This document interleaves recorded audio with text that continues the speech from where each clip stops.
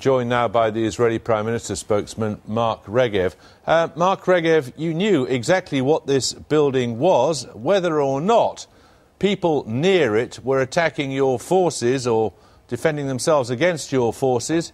You knew what you were doing when you hit it, didn't you? On the contrary, we were receiving fire from the facility. We asked forces on the ground return fire. And if you asked before, is there a crime here?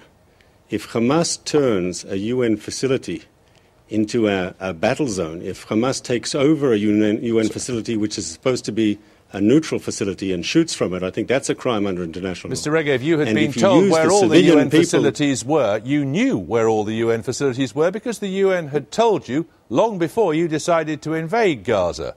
Now, I put it to you. That's correct. Even if it had been the case that there were people nearby who were engaged in any kind of military action, you knew what the consequences could be. That a UN building, at the very least, you perhaps didn't know how many people were inside it, that a UN building would be hit. I think, I think you're overstating what is the reality. You have an Israeli ground force that receives mortar shells.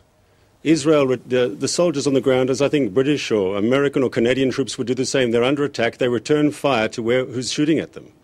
Uh, I think that's the most natural thing, unfortunately, in a war zone. Regardless uh, of how many civilians may be killed. their mission. Regardless of how many civilians well, may be killed, you're, you're regardless of whether UN buildings be hit too? The assumption behind your question, I think, is highly questionable. Did they know there were, in fact, civilians on the other side? And here I'd like to get well, to, they knew there was a UN building war there. crimes. They knew there was. I haven't asked you a uh, question uh, about. No, I'm not asking your you question a question is. No, I'm no, not asking you a question about war crimes, I mean, Mr. Regev. I'm asking you very clearly about the sort of conditions and rules under which your soldiers operate. You were told this was a UN facility. In, have I've you heard of the concept of fog of war? There is a fog of war. There is a combat situation. People are uh, in the mud fighting in a combat zone, and someone is shooting at them.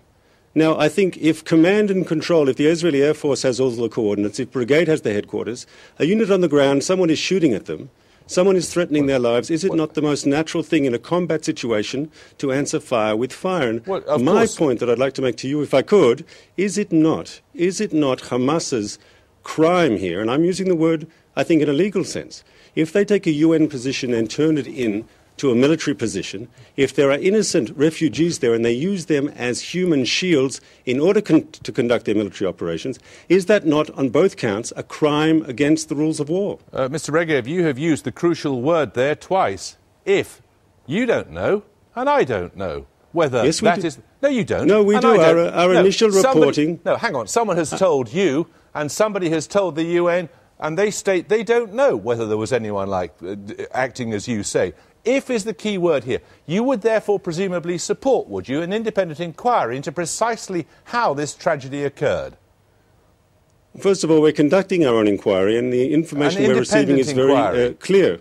An independent no, can inquiry. I also tell you something? Our intelligence services say that Hamas has conducted here a deliberate cover up. We have the names of two particular Hamas military operatives who were killed in our counterstrike, and they've suddenly vanished. They're not among, amongst the victims, though we know they're dead, and we know that Hamas knows they're dead.